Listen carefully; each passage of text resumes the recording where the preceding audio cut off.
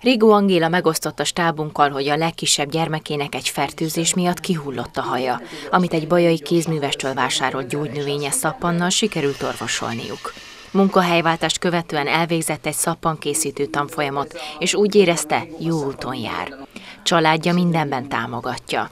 Férje rendszerint a fejést végzi, ami a szappankészítés első mozzanata. Kecske mindenevő. Tehát sokkal sokfélébb a táplálkozása, mint mondjuk egy tehénnek, főleg így utcára kötve, hogy válogatott a parlagfűtől kezdve bármilyen növényig, minden szeret, szereti a fászárúakat. Nyilván, ha többfélét teszik, akkor a bevitt tápanyag is sokkal több fajta vitamin meg, meg ásványi anyagot produkál. A hidegen készített szappanok főbb összetevői a növényi olajok és a kecsketej. További természetes alapanyagok is szükségesek azonban, amelyek gyógyírt jelentenek a különféle problémákra, jegyezte meg Rigó Angéla. Gyógynövényeket, iszapokat, agyagokat, a marosi gyógyiszapot használom a szappanokba.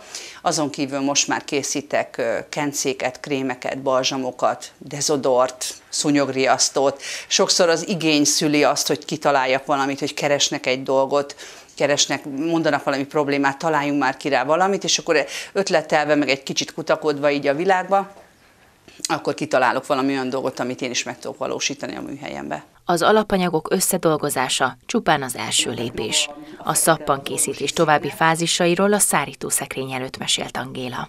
Amikor elkészülök a szappanokkal, két nap után kiveszem a formából, egy szeletelővel felszeletelem, vagy kiveszem a szilikonformából, és ezekbe a tálcákba rakom bele. És akkor ráírom az elejére, hogy mikor készült, hogy tudjam jól, hogy 4-5-6 hét múlva mikor tudom leszedni, attól függ, hogy melyik szappan mekkora és milyen összetevők.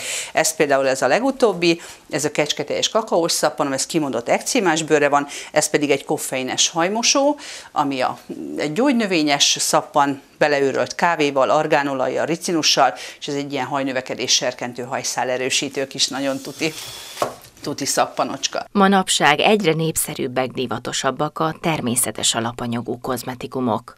Rigó Angéla termékeivel jelen van az olyan kézműves vásárokban is, mint például a Bogárzói búcsú, valamint a Kiskaska és a Hagyma Fesztivál.